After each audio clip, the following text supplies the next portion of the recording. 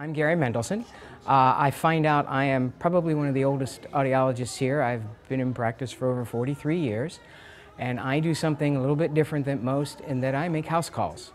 I travel about a thousand miles a week, and I have for about the 43 years.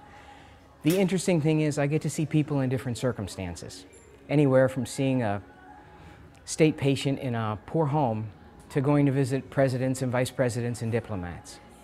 But one of the best stories I can tell you is one with a young lady who was uh, 98 years old, and I fit her with uh, the Alera 7s. And it was a big deal, big party when I came to fit her. The whole family was there, about 35 or 40 people. We're all sitting around fitting her. She is smiling, she's hearing everybody, which made me feel phenomenal. And I was just about ready to leave, and she comes up and she puts her arms around me.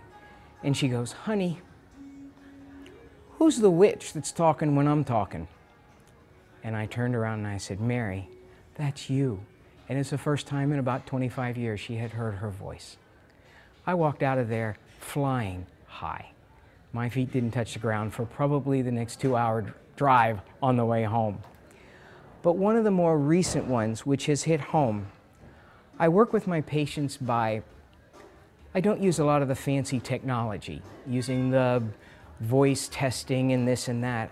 I work with them by the way that they feel. Are you hearing well? Is this comfortable? Uh, can you hear your wife? Can you hear your children? And so it's more by touch than it is by technical stuff.